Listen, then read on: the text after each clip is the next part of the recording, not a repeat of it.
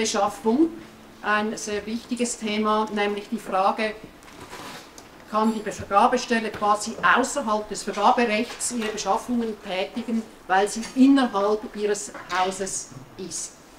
Dr. Martin Zobel wird eine Präsentation dazu vorführen. Ich habe mit beiden Referenten abgemacht, dass sie mit Fragen bereits während des Vortrags äh, gerne Fragen stellen dürfen. Wir haben aber auch genügend Zeit, dass wir nach den beiden Vorträgen Ihre Fragen aus dem Publikum entgegennehmen können. Ich beginne mit Dr. Martin Zobel. Er ist Rechtsanwalt bei Walder Wies in Zürich. Er ist hauptsächlich im Staats- und Verwaltungsrecht, im öffentlichen Verfahrensrecht und mit einem großen Schwerpunkt im öffentlichen Beschaffungswesen tätig. Er berät und vertritt öffentliche Auftraggeber und auch Anbieter über alle Stadien von Vergabeverfahren und in Gerichtsprozessen. Martin, darf ich dich bitten? Vielen Dank, liebe Claudia, für die freundliche Einführung und natürlich die Moderation dieses Anlasses. Sehr verehrte Damen und Herren, liebe Kolleginnen und Kollegen, stellen Sie sich vor, Sie sind Teil einer kantonalen Steuerverwaltung. Sie wissen, Sie müssen Ihr IT-System demnächst erneuern. Jetzt brauchen Sie Beratung, IT-Beratung, weil Sie wissen, das wird eine große Geschichte. Vielleicht haben Sie entsprechendes Know-how bei sich in der Verwaltung. Vielleicht haben Sie, vielleicht hat der Kanton eine Organisation, die solche Dienstleistungen anbietet, nennen wir sie die zentrale IT AG. Also nicht eine ihnen direkt unterstellte Stelle, Einheit, sondern eine vom Kanton, in welcher Form auch immer gehaltene Organisation. Oder, das wäre dann die dritte Möglichkeit, Sie sehen sich beim Bund um oder bei anderen Kantonen, vielleicht ist dort das erforderliche Know-how vorhanden. Nun werden Sie bestimmt fragen, Sie sehen diese drei Konstellationen hier übrigens abgebildet. Nun werden Sie fragen, muss ich jetzt in der einen oder anderen Konstellation ein Beschaffungsverfahren durchführen oder kann ich diese Leistungen einfach so beziehen und zwar außerhalb des Vergaberechts und unter welchen Voraussetzungen können Sie das tun? Und das sind genau die Themen, die unter dem Titel Inhouse-Vergaben abgehandelt werden. Das sind äh, Inhouse-Privilegien. Sie heißen deshalb Privilegien, weil sie eben vom Vergaberecht privilegiert behandelt werden, in dem Sinne, dass sie äh, das Vergaberecht nicht beachten müssen, sondern äh, zwar nach allgemeinen öffentlich-rechtlichen Regeln, aber eben nicht nach dem Vergaberecht einkaufen müssen. So viel zum Einstieg. Ich möchte Ihnen ich möchte mit Ihnen kurz äh, den Inhalt äh, meines heutigen Referats durchgehen.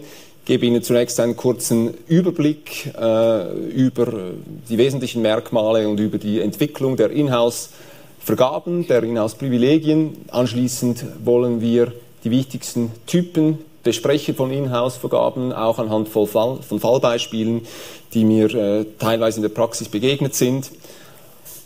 Und am Ende gebe ich Ihnen oder versuche ich Ihnen ein paar Takeaways mitzugeben und äh, Empfehlungen.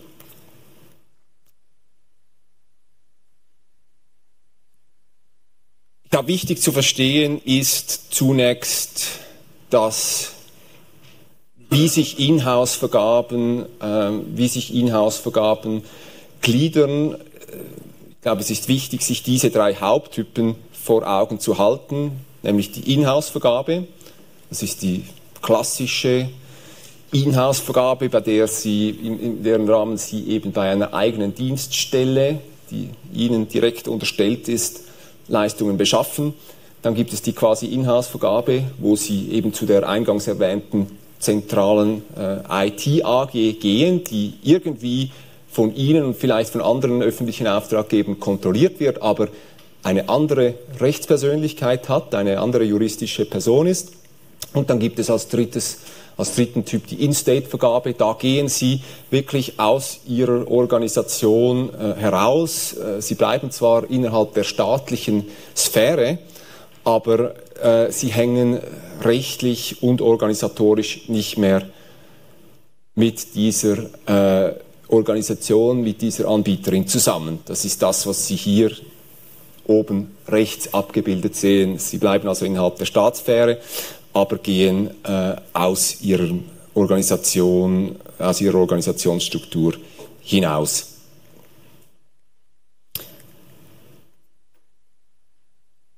Der Grundgedanke, weshalb man sagt, dass solche Aufträge nicht vom Vergaberecht erfasst sind, das ist eigentlich der Make-or-Buy-Entscheid, getreu dem Titel unserer äh, heutigen Beschaffungskonferenz. Man sagt, es muss eigentlich der Auftraggeberin überlassen bleiben, ob sie selbst eine Leistung erbringt, also eben in-house, oder ob sie diese einkauft auf dem Markt. Es hängt auch mit der Organisationsautonomie der öffentlichen Auftraggeber zusammen kann quasi nicht die Idee des Vergaberechts sein, dass einem Auftraggeber vorgeschrieben wird, wie er sich konkret zu organisieren hat, ob es allenfalls im Sinne der Effizienz ist, wenn er gewisse Aufgaben ausgliedert an eine Tochtergesellschaft oder eben an eine sonstige rechtlich, wenn auch nicht äh, faktisch unabhängige Einheit. Die drei Typen von Inhouse-Vergaben lassen sich herunterbrechen auf diese beiden Merkmale, die dann auch eigentlich einen Einfluss auf die Voraussetzungen haben für die Zulässigkeit. Es geht immer um Leistungsbezüge, die irgendwie innerhalb der staatlichen Sphäre stattfinden, wo man also nicht rausgeht äh, auf den privaten Markt, raus in den Wettbewerb. Und damit sind wir gleich beim zweiten Kriterium. Es darf keine relevante Wettbewerbsberührung stattfinden. Es darf der Wettbewerb nicht verfälscht werden. Wenn die Voraussetzungen erfüllt sind für eine Freihandvergabe, äh, für eine Inhouse-Vergabe, Claudia hat es eingangs bereits kurz gesagt, dann bedeutet das, dass das Beschaffungsrecht, sei es das Bundesgesetz über das öffentliche Beschaffungswesen auf Bundesebene oder die IVEB auf kantonaler Ebene, keine Anwendung findet. Sei auch nicht analog, auch nicht teilweise, sondern das ist quasi eine Weichenstellung, liegen die Inhouse, äh, die, die, die Voraussetzungen für eine Inhouse-Vergabe vor? Wenn ja, dann sind sie außerhalb des Anwendungsbereichs des Beschaffungsrechts. Und deshalb sind diese Inhouse-Privilegien ja auch äh, für Sie als öffentliche Auftraggeberinnen oder allenfalls auch als Anbieterinnen im Rahmen von Inhouse-Tatbeständen interessant. Nicht zu verwechseln sind Inhouse-Vergaben mit der Teilnahme, mit der Situation, wo öffentliche Auftragnehmerinnen oder Auftraggeberinnen teilnehmen an öffentlichen Ausschreibungen als Anbieterinnen. Diese Situation gibt es bekanntlich auch. Da, gibt, da, da findet ein normales Ausschreibungsverfahren statt. Und Sie haben öffentlich-rechtliche Organisationen oder andere staatliche Stellen, die mitmachen als Anbieter. Das ist keine Konstellation der Inhouse-Vergabe. Da gelten gewisse Regeln, die die Praxis entwickelt hat, ist aber wirklich zu trennen von der Situation von Inhouse-Vergaben glaube, es ist wichtig, dass wir uns zum besseren Verständnis auch äh, der drei verschiedenen Inhouse-Typen und der diesbezüglichen Praxis vor Augen führen, wie sich diese Inhouse-Privilegien entwickelt haben. Wir müssen hier unterscheiden zwischen der schweizerischen Ebene und der europäischen Ebene und ähm, auf der Zeitachse auch zwischen der Zeit vor der Beschaffungsrechtsrevision 2019 und seither. Im Wesentlichen haben Sie die Situation in der Schweiz, dass bis zur Beschaffungsrechtsrevision von, 2019 keine gesetzliche, es keine gesetzliche Regelung dieser Inhouse-Privilegien gab. In der Vergabepraxis wurden die Inhouse-Privilegien zwar anerkannt und auch äh, weitgehend verwendet, es gibt nur sehr oder gab nur sehr wenige Gerichtsentscheide. Auf kantonaler Ebene gibt es zwei, drei, auf Bundesebene eigentlich gar keinen, der äh, einen substanziellen äh, Beitrag zur Diskussion geleistet hätte. Etwas anders die Situation in der Europäischen Union. Da haben Sie im Jahr 1999 den sogenannten TECAL-Entscheid. Mit dem TECAL-Entscheid hat der EuGH zum ersten Mal festgelegt, unter welchen Voraussetzungen eine quasi In-house-Vergabe stattfinden kann. Und auf dieser Grundlage hat er dann eine sehr reichhaltige Praxis aufgebaut, die unter anderem in der Vergaberechts, im Rahmen der Vergaberechtsnovelle von, von 2014 äh, kodifiziert wurde. In der Schweiz, wie gesagt, sind wir äh, dieser Entwicklung etwas hinterhergehinkt. Wir haben erst 2019 mit der Beschaffungsrechtsrevision eine Kodifizierung der drei Inhouse-Tatbestände vorgenommen, eine eher rudimentäre Kodifizierung, wie wir auch noch äh, sehen werden im Verlauf des weiteren Referats. Viele Fragen bleiben da bislang ungeregelt. Äh, es stellt sich daher die Frage, wie wir mit dieser Situation umgehen. In der Botschaft zum BÖP, zum Bundesgesetz über das öffentliche Beschaffungswesen, heißt es, wir würden, und so heißt es zu Recht, wir würden die Inhouse-Tatbestände in der Schweiz autonom auslegen, also selbstständig. Gleichzeitig gehe ich davon aus, dass wir wie bis anhin sehr stark über die Grenzen blicken werden und dass das europäische Recht und die europäische Vergabepraxis einen starken Einfluss haben wird auch auf die Entwicklung der äh, schweizerischen Inhouse-Privilegien. Kommen wir nun etwas näher auf die drei Typen zu sprechen von Inhouse-Vergaben. Wir haben eben die Inhouse-Vergabe im engeren Sinne, dann die Quasi-Inhouse-Vergabe und die In-State-Vergabe. Ich habe Ihnen hier den Gesetzestext aus Artikel 12 BÖP eingeblendet. Sie haben die Parallelregelung auch in der IVWB, in der revidierten. Fokussieren Sie sich bitte nur auf den gelb markierten Teil. Da heißt es also, dass das Gesetz, das Beschaffungsgesetz, keine Anwendung findet auf die Beschaffung von Leistungen bei unselbstständigen Organisationsauf, äh, Organisationseinheiten der Auftraggeberin.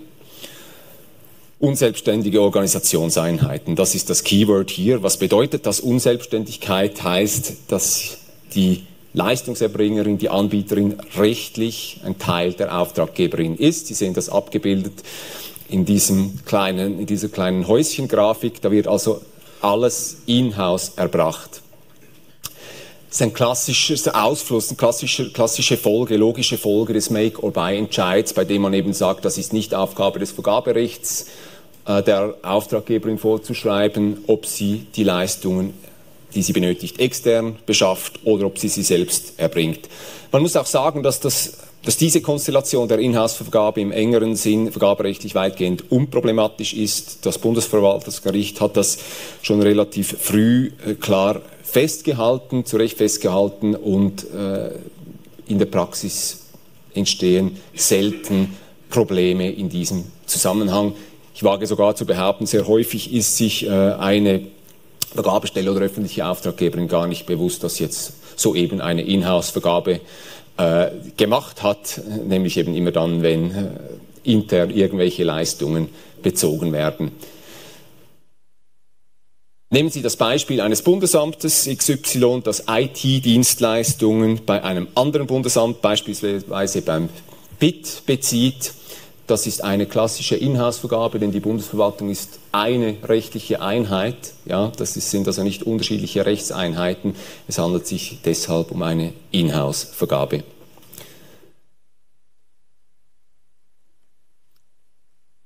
Etwas schwieriger ist die Situation bei der quasi Inhouse-Vergabe. Da stellen sich die meisten Fragen in der Praxis, meiner Erfahrung nach zumindest, und äh, da liegt wirklich der Hase im Pfeffer, wie man so schön sagt. Die, die gesetzliche Regelung lautet wie folgt. Das Gesetz findet keine Anwendung auf die Beschaffung von Leistungen bei Anbieterinnen, über welche die Auftraggeberin eine Kontrolle ausübt, die der Kontrolle über ihre eigenen Dienststellen entspricht. Und soweit, dieses, soweit diese Unternehmen ihre Leistungen im Wesentlichen für die Auftraggeberin erbringen. Also zwei Voraussetzungen, können Sie sagen. Zum einen die Kontroll, das Kontrollerfordernis geht darum, dass Sie über die Auftragnehmerin eine Kontrolle wie über ihre eigene Dienststellen ausüben. Das ist eine Voraussetzung. Und dann gibt es sogenannte, das sogenannte Tätigkeitserfordernis, das eben besagt, dass diese Anbieterin, diese Leistungserbringerin ihre Leistungen im Wesentlichen für die Auftraggeberin erbringen muss. Soll ich noch eine Frage dazu? Gerne. Was heißt das jetzt, wenn ich das den Auftrag einer Organisation übergebe, bei der wir 49% des Aktienkapitals besitzen und der Stimmrechte. Hm. Ist das die Beherrschung? Darf ich Ihre Frage gleich im Verlauf der weiteren Ausführungen beantworten, weil wir kommen sinngemäß darauf zurück. Vielen Dank dafür. Ich möchte nur noch kurz erwähnen an dieser Stelle, dass mit dieser gesetzlichen Regelung, wie wir gesehen haben, die sogenannte TECAL-Praxis des EuGH, Sie haben vorher gesehen, 1999 gab es diesen TECAL-Entscheid kodifiziert wurde. Also wichtig auseinanderzuhalten hier das Kontrollerfordernis auf der einen Seite und dann das Tätigkeitserfordernis auf der anderen Seite, das besagt, dass die Leistungen im Wesentlichen für die Auftraggeberin erbracht werden müssen. Das sind unbestimmte Rechtsbegriffe, wie man im Rechtsjargon sagt. Das bedeutet, dass diese Rechtsbegriffe auslegungsbedürftig sind. Mangels konkretisierender Angaben im Gesetz oder in der Verordnung werden die Behörden und die Gerichte diese Begriffe auslegen müssen. Und jetzt kommen wir zu diesem ganzen äh, Kontrollthema, äh, das Sie vorhin auch angesprochen haben. Was bedeutet das nun, Kontrolle ausüben über eine über eine äh, Anbieterin. Im EU-Recht, in der klassischen Vergaberichtlinie, haben Sie doch eine relativ konkrete Umschreibung. Hier heißt es nämlich, dass Sie einen ausschlaggebenden Einfluss auf die strategischen Ziele und die wesentlichen Entscheidungen der Leistungserbringerin haben müssen. Grundsätzlich dürfen keine Private beteiligt sein, mit Ausnahme jetzt in, immer von der, in der EU, von der EU gesprochen, von gewissen gesetzlichen Pflichtbeteiligungen. Weshalb nicht? Man will nicht, dass Privatbeteiligte irgendwie profitieren von vergaberechtsfrei erteilten öffentlichen Aufträgen. Das ist der Sinn dieses grundsätzlichen Verbots von privaten, privaten Kapitalbeteiligungen. Was möglich ist, gemäß der europäischen Regelung, ist eine mittelbare Kontrolle, das heißt eine Kontrolle durch eine andere Gesellschaft hindurch, solange sie eben einen ausschlaggebenden Einfluss haben. In der Schweiz ist das alles nicht geregelt, was jetzt mit Kontrolle gemeint ist. Hier haben Sie diverse offene Fragen, die ich hier äh, beispielhaft aufgelistet habe. Stellt sich die Frage, gilt auch in der Schweiz oder gilt in der Schweiz ein absolutes Verbot von Privatbeteiligungen? Ist nicht ganz klar. Die Mehrheit würde wahrscheinlich sagen ja. Wie ist es mit Organisationen, die nicht im rechtlichen Sinn kontrolliert werden können? Denken Sie beispielsweise an Stiftungen, das ist ein verselbstständiges Vermögen. Da äh, haben Sie keine Kontrolle, wie Sie es bei einer äh, Kapitalgesellschaft beispielsweise haben. Können, können Einfluss nehmen über den Stiftungsrat und so weiter. Äh, und das wird in der Praxis teilweise auch so bejaht, dass da eine Kontrolle möglich ist. Aber ganz klar ist es nicht. Wie ist es, wenn Sie die Kontrolle mit anderen Auftraggeberinnen gemeinsam ausüben über eine Anbieterin? Ist das möglich? Ist, das, äh, ist eine solche Konstellation der quasi Inhouse-Vergabe zulässig? Auch hier würde man grundsätzlich sagen, ja, aber es kommt immer ein bisschen drauf an. Und wie ist es beispielsweise, wenn du nicht eine, wenn Sie an einen Konzern, an ein Konzernverhältnis denken, eine Muttergesellschaft an eine Tochtergesellschaft einen Auftrag vergibt, sondern eine Tochtergesellschaft an eine Muttergesellschaft oder zwei Schwestergesellschaften, also im horizontalen Verhältnis Leistungen austauschen. Und Kurz zurück zu Ihrer Frage, wie ist es bei einer 49% Beteiligung? Hier würde es sicher darauf ankommen, wie sich die 51%, die verbleibenden 51% zusammensetzen. Wenn die in privater Hand sind, dann dürfte ein Gericht eine solche Vergabe kaum schützen, wenn sie diese Organisation zusammen mit anderen öffentlich-rechtlichen Auftraggeberinnen äh, kontrollieren, dann wird es anders aussehen. Also auch die EU-Vergaberichtlinien gehen äh, dahin, dass sie sagen, es ist möglich, ein solches gemeinsames Kontrollverhältnis auszuüben. Man nennt das dann auch Joint quasi In-house-Vergabe, also gemeinsame quasi In-house-Vergabe. Dann können, können, nämlich alle kontrollierenden Auftraggeberinnen bei der äh, kontrollierten Anbieterinnen Leistungen beziehen, soweit alle irgendwie ein Mitspracherecht haben.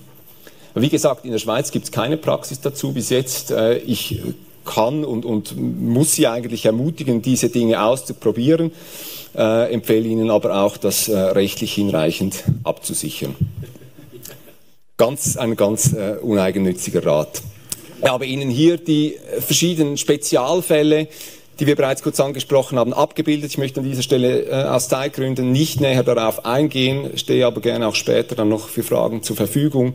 Das sind einfach die verschiedenen Konstellationen, wie sie insbesondere in Konzerngesellschaften äh, vorkommen können, also Leistungsbeziehungen da über alle äh, Stufen hinweg und auf allen Ebenen. So viel also zu dem ersten, zu der ersten Voraussetzungen, zu, zu der ersten Voraussetzung gemäß äh, gemäß äh, TECAL-Praxis äh, zur, zur quasi Inhaltsvergabe. Es gibt ja noch dieses zweite Kriterium, das Tätigkeitserfordernis.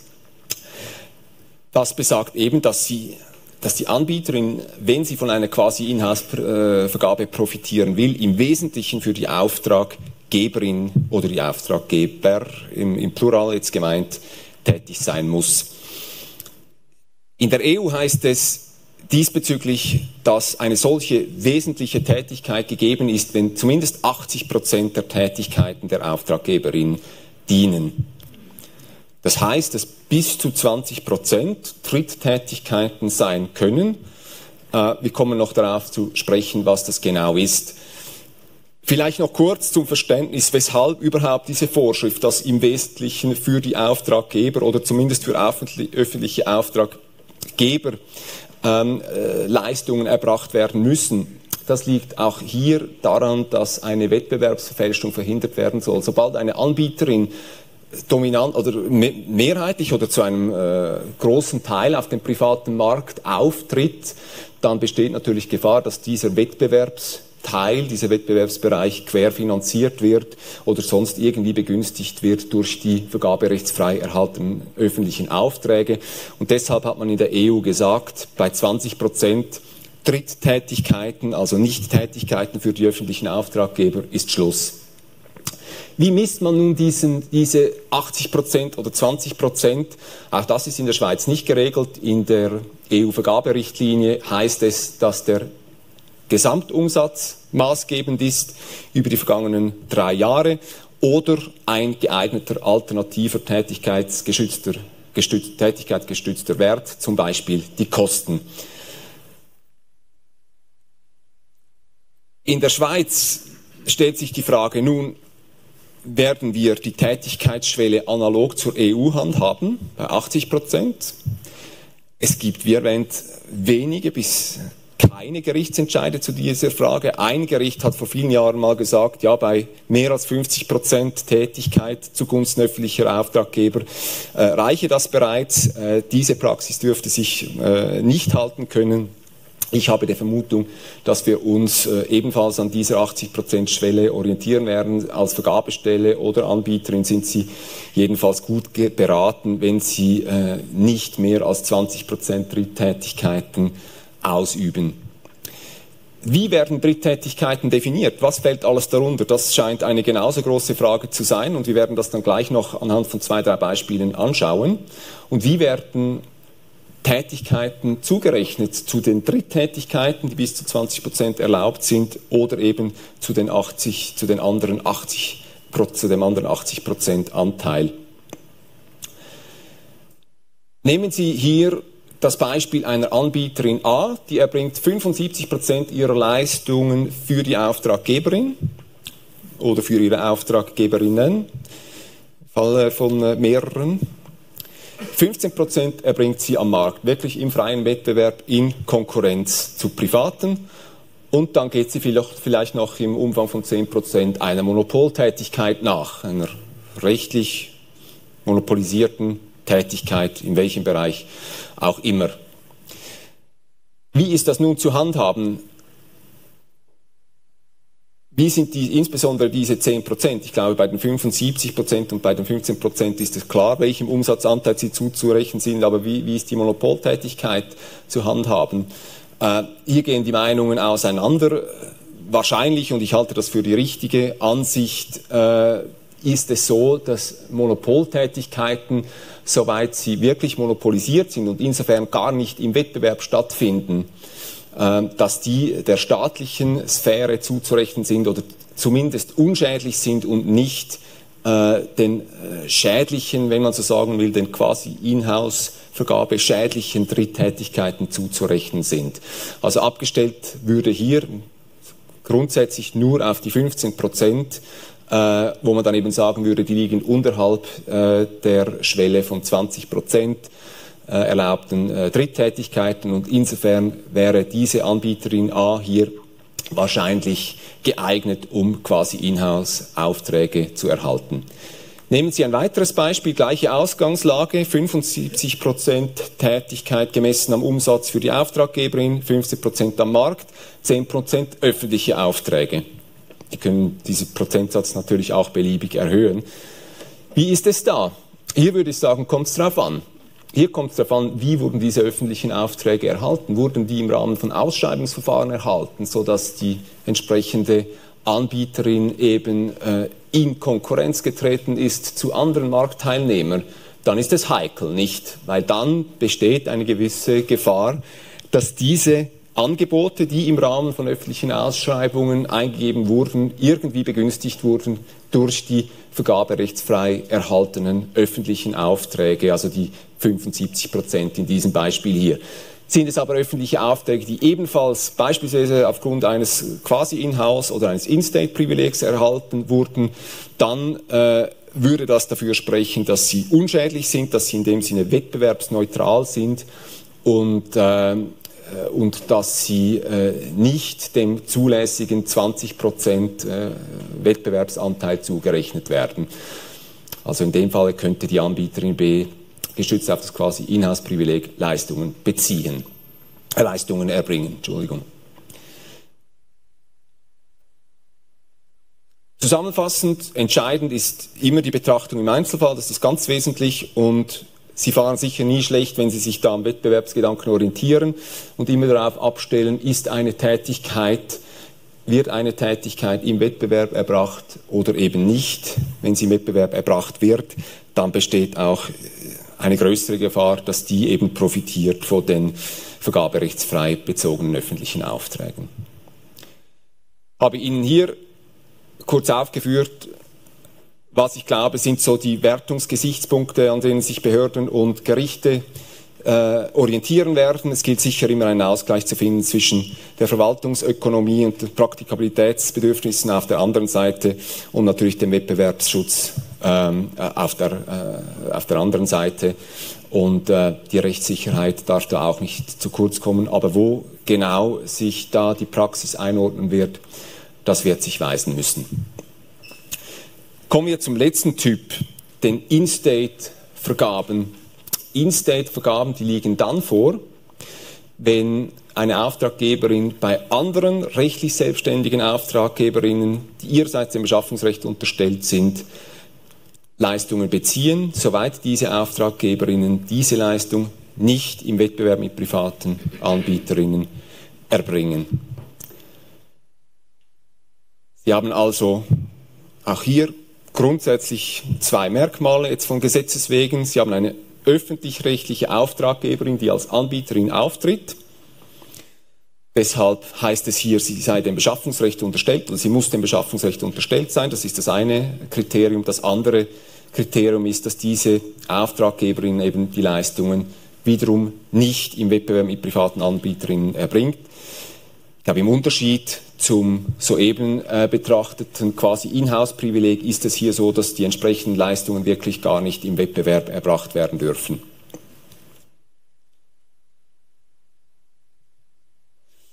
Irrelevant ist, ob die öffentlich-rechtliche Auftraggeberin, die als Anbieterin auftritt, dem kantonalen oder dem Bundesbeschaffungsrecht unterstellt ist. Ich glaube, das ist anerkannt.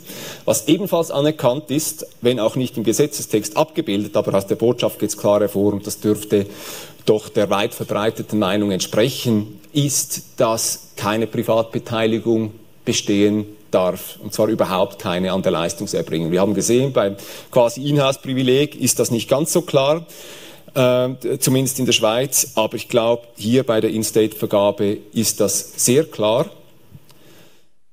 Nur am Rande möchte ich darauf hinweisen, dass das GPA, das WTO-Beschaffungsübereinkommen von 2012, großzügiger ausgestaltet ist. Hier werden generell Leistungen, die innerhalb einer oder zwischen verschiedenen rechtlich selbstständigen Beschaffungsstellen erbracht werden, ausgeklammert vom Geltungsbereich des Übereinkommens. Das bedeutet, sobald Sie irgendwie eine Leistungsbeziehung zwischen öffentlichen Auftraggebern haben, egal, egal ob eine Privatbeteiligung besteht, egal ob die irgendwie noch am Markt tätig sind, dann findet das GPA keine Anwendung. Das heißt, sie sind dann automatisch im Nichtstaatsvertragsbereich.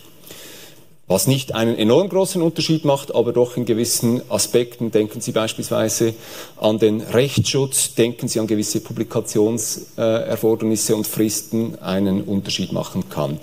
Strenger demgegenüber dann das EU-Recht, das diverse weitere Voraussetzungen vorsieht für die In-State-Vergabe. Also hier sind wir in der Schweiz äh, doch eindeutig liberaler bislang. Wir haben gesehen, diejenigen Leistungen, die im Rahmen des In-State-Privilegs erbracht werden, die dürfen nicht im Wettbewerb erbracht werden. Das bedeutet dann im Umkehrschluss, dass andere als die betroffenen Leistungen im mindestens laut dem Gesetzestext im Wettbewerb erbracht werden dürfen. Das gefällt nicht allen. In der Lehre äh, wird daran äh, Kritik geäußert, in dem Sinne, dass teilweise ein generelles Verbot von Wettbewerbstätigkeiten gefordert wird oder auch äh, ein Verbot äh, von äh, der Verfolgung kommerzieller Absichten, also von Gewinnstrebigkeit. Hat sich bis jetzt äh, meiner Erfahrung nach nicht durchgesetzt so. Ich glaube auch, dass es nicht unbedingt entscheidend ist. Entscheidender muss meiner Meinung nach sein, ob ein konkretes Geschäft, eine eben In-State-Vergabe wettbewerbsschädlich sein kann.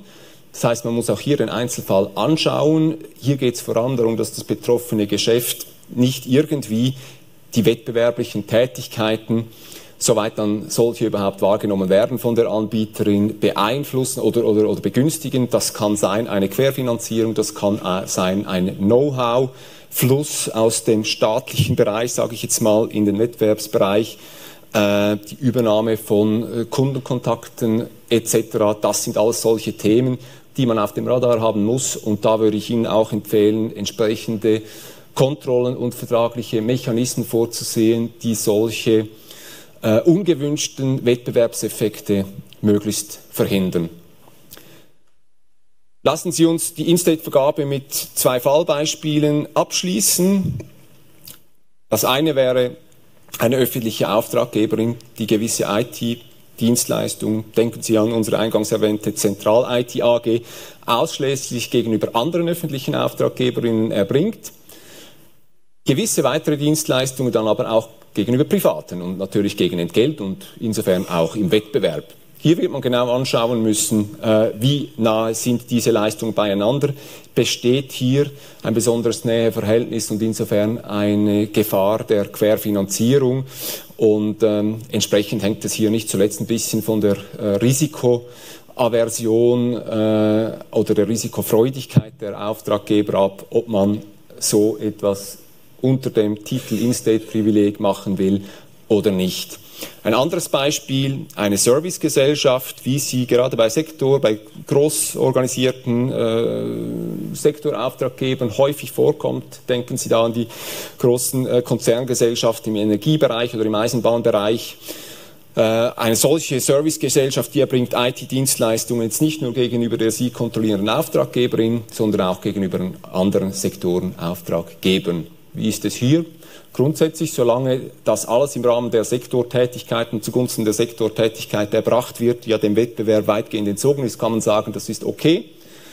Ganz grob gesprochen, sobald es in den nicht sobald es in den wettbewerblichen Bereich reingeht, also die Tätigkeit außerhalb der Sektorentätigkeit, wird es natürlich heikel. Da müssen Ihre Alarmglocken äh, läuten. Darf ich eine Frage stellen? Gerne. Thomas Fischer, Kanton Bern. In meiner Beratungspraxis äh, zu In-State-Fragen habe ich häufig die Situation, dass sich die Frage stellt, auf welcher organisatorischen Ebene diese Frage der wettbewerblichen Neutralität zu klären ist. Beispielsweise, wenn der Kanton die Universität beauftragen will, geht es da um die wettbewerbliche Neutralität des Instituts, des, des, äh, des Departements oder der, der gesamten Universität. Ich habe jeweils die Meinung vertreten, dass für eben des Rechtsträgers anzusetzen ist. Dass der Rechtskörper schafft. Im Fall der Universität die, die Universität als Ganze. Wie schätzen Sie das mhm. ein? Mhm.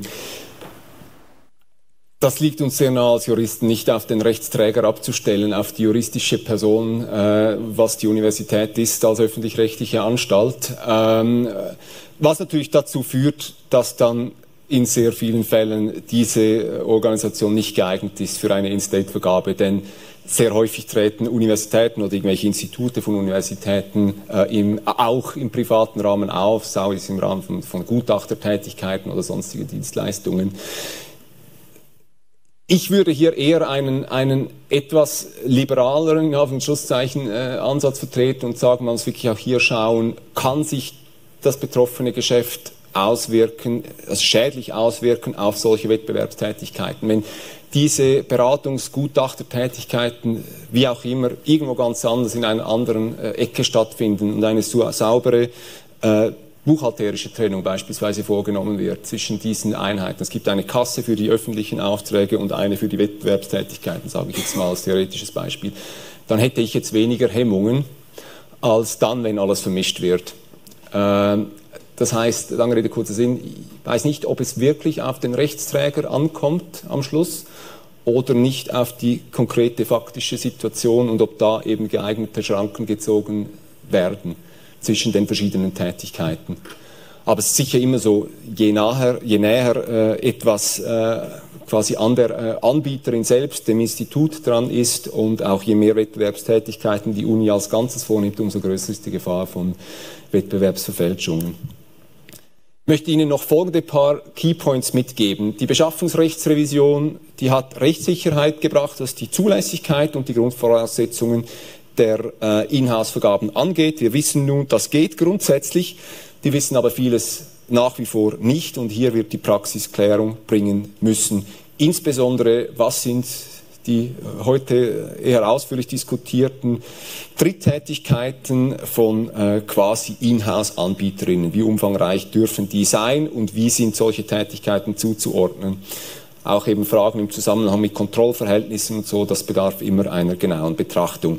Ich gehe davon aus, dass das EU-Recht weiterhin eine starke Relevanz haben wird, auch für die schweizerische Praxis, obwohl wir den Anspruch haben und haben sollten, dass wir das Schweizer Recht autonom anwenden und interpretieren. Es braucht immer einen Ausgleich zwischen Praktikabilitätsbedürfnissen auf der einen Seite, ähm, ökonomischen Gesichtspunkten auch aus Sicht der Verwaltung und dann dem Wettbewerbsschutz. Die Einzelfälle müssen immer im Rahmen der konkreten Umstände betrachtet werden. Ich weiß, das hören viele nicht gern, aber ist trotzdem so bei diesem Grauzonenthema. Wenn Sie in der Rolle von öffentlichen Auftraggebern sind, kann ich Ihnen nur empfehlen, äh, gerade wenn es Richtung Quasi-Inhouse- oder In-State-Vergaben geht, klären Sie die Situation genau ab und sehen Sie entsprechende, äh, insbesondere vertragliche Mechanismen vor, um unerwünschten Wettbewerbseffekten zu begegnen. Zugleich, wenn Sie vielleicht eine Anbieterin sind im Rahmen einer dieser Privilegien, versuchen Sie, die staatliche Sphäre abzutrennen, also die Sphäre der öffentlichen Aufträge abzutrennen, soweit es geht, von einem allfälligen Wettbewerbsbereich.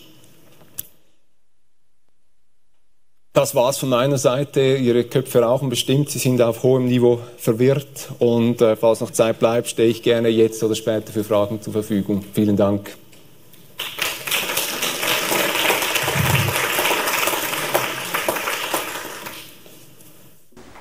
Ja, sind Fragen da? Ja, bitte. Roland Stern, Ex-Beschaffungsexperte heißt jetzt im Bereich der äh, In-State-Vergabe, können Sie ein paar Kantone zusammenschließen und sagen, wir haben alle den gleichen gesetzlichen Auftrag, zum Beispiel Bildung, zum Beispiel Gesundheit, Rettungsfahrzeuge. Ein Kanton hat genügend Leute in der Beschaffung, beschafft diese 10 Stück für sich selbst mit Option auf 20. Die 20 Optionen können die anderen kleineren Kantone, die diesen Aufwand scheuen, können dann beim anderen Kanton beziehen. Wäre das ein In-State-Vergabe? Es ist eine Mischung aus einer In-State-Vergabe und einer gemeinsamen öffentlichen Beschaffung, nicht wahr? Ähm, Die Beschaffung führt aber nur ein Kanton durch. Die Frage ist, bleibt dieser Kanton auch der Vertragspartner dann, der Anbieterinnen, oder Ich, ich frage das nur deshalb, weil äh, meiner Meinung nach zu Recht die Forderung besteht in solchen Fällen einer gemeinsamen öffentlichen Beschaffung, dass transparent gemacht wird, wer denn die Auftraggeber sind am Schluss. Was schwierig ist, ist, wenn Sie als Anbieterin jetzt zunächst glauben, okay, ich habe einfach eine Vertragspartnerin, eine öffentliche Auftraggeberin, am Ende haben Sie zehn äh, Kontakte auf der anderen Seite, mit denen Sie Verträge verhandeln müssen und so weiter. Äh, wenn das alles über die äh, federführende Beschaffungsstelle läuft, dann äh, brauchen Sie meiner Meinung nach die Zweitabnehmer, sage ich jetzt mal, nicht von vornherein transparent zu machen. Und dann würden dann effektiv das Verhältnis zwischen der äh, Hauptbeschaffungsstelle äh, und den weiteren Abnehmern wäre dann wahrscheinlich ein In-State-Verhältnis, ja, das grundsätzlich möglich wäre, wenn eben diese Voraussetzungen hier ge gegeben sind, was prima vista der Fall wäre in Ihrem Beispiel. Ja, ja ist lieb, danke. Weitere Fragen?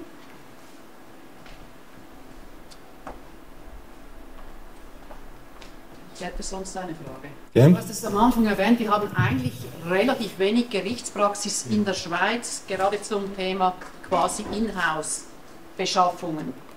In der Praxis äh, heißt das aber nicht, dass dieses Thema nicht wirklich aktuell ist und auch oft ähm, diskutiert wird oder Anbieter vorhanden sind, die solche ähm, Auftragnehmer, oder, die quasi in, in irgendwie von einer privilegierten Situation profitieren, gleichzeitig im Wettbewerb auftreten, dass es nicht Anbieter gibt, die sich gegen, da, daran stoßen oder die das hinterfragen wollen.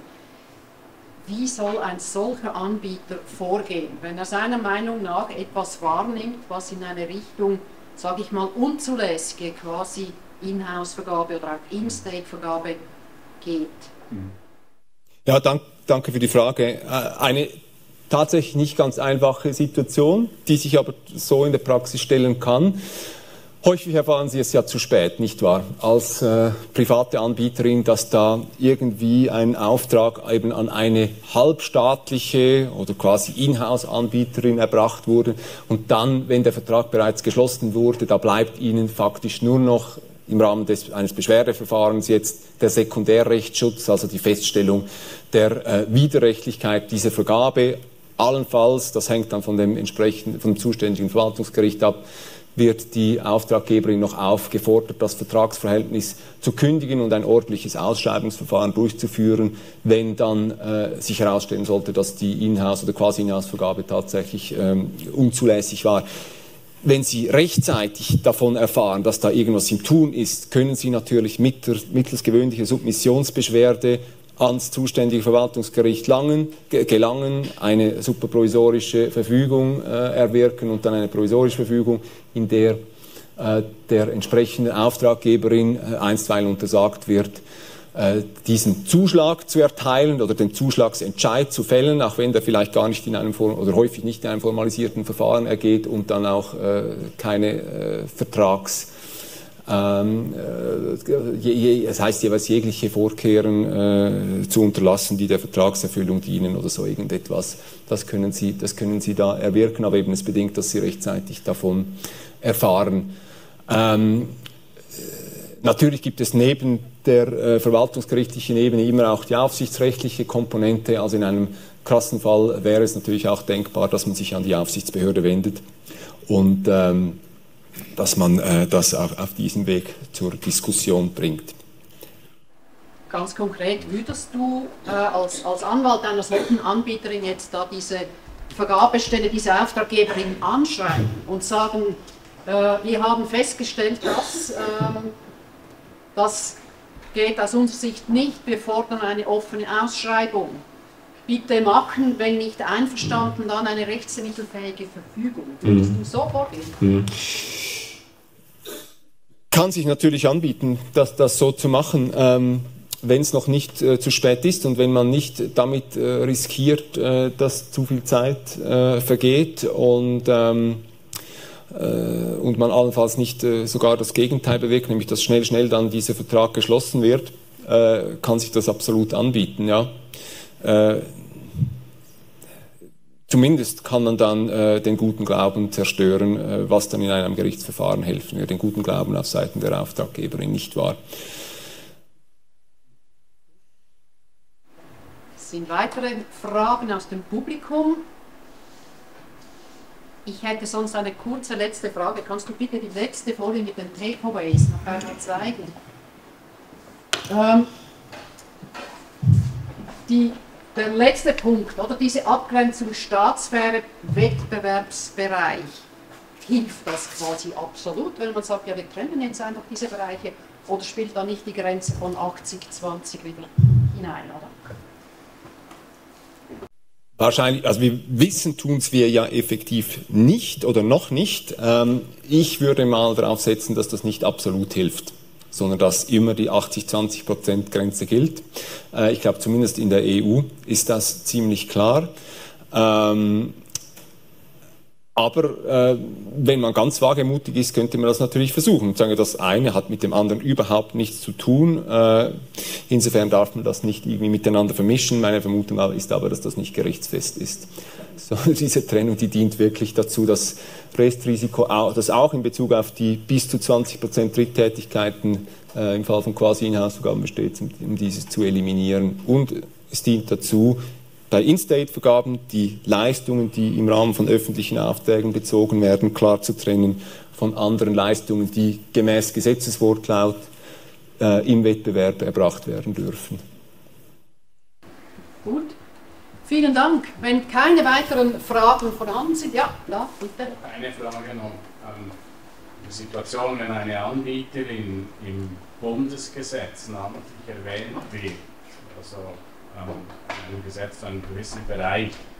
Inwieweit gelten diese ähm, Einschränkungen weiterhin oder inwieweit wird dort quasi eine, eine Situation geschaffen, wo das nicht mehr beurteilt werden muss? Mhm. Ich weiß nicht genau, welches Beispiel Sie im Kopf haben, aber äh, das wäre eigentlich, das erinnert mich sehr stark an, ein, äh, an eine monopolisierte Tätigkeit, nicht wahr? Wenn eine Anbieterin vorgesehen ist und verpflichtend auch vorgesehen ist, dann haben Sie ja äh, eigentlich gar keinen Wettbewerb. Sprechen Sie jetzt von einer Situation, in der neben dieser Anbieterin auch noch andere private Anbieter grundsätzlich äh, Leistungen erbringen dürfen? Ähm, nein, dort ist wirklich für diese Dienstleistung, ja. für den Betrieb, dort ist wirklich ja. diese Anbieterin vorgesehen. Die Anbieterin kann aber im weiteren Bereich andere ähnliche ja. Dienstleistungen im, öffentlichen Markt, äh, im, im, offenen Markt, offenen Markt ja. erbringen. Ja, dann haben Sie wirklich die Situation, in der die Anbieterin eben äh, der, im Rahmen der staatlichen Sphäre, nämlich im Rahmen einer monopolisierten Tätigkeit, rechtlich monopolisierten Tätigkeit, äh, tätig ist und gleichzeitig in anderen Bereichen. Und dort gilt es dann eben umso mehr, diese Trennung möglichst sauber vorzunehmen und genau hinzuschauen, wenn es um, um In-State oder quasi Inhouse-Aufträge geht. Gut, dann vielen Dank, Martin Zobel.